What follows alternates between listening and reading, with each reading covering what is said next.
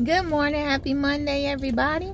Today I wanted to share um, Galatians 6 9 and just says, And let us not grow weary in well doing, for in due season we shall reap if we faint not.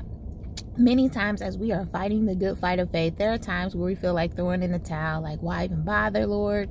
Forget this.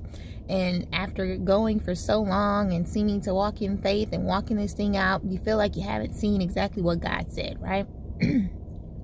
well, one of the things the Lord just shared with me, um, because we all have those moments, and I was like, man, Lord, why bother? I could go do this, I could go do that.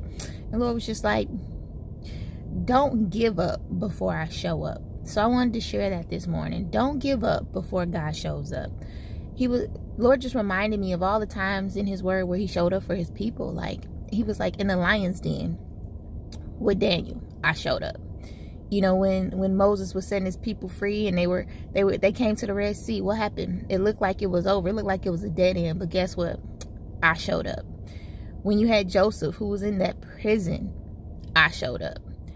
And it's just so many instances where it seemed like, man, this thing's over. They start playing that music like the Titanic, like this thing's going down, it's over with, and God shows up.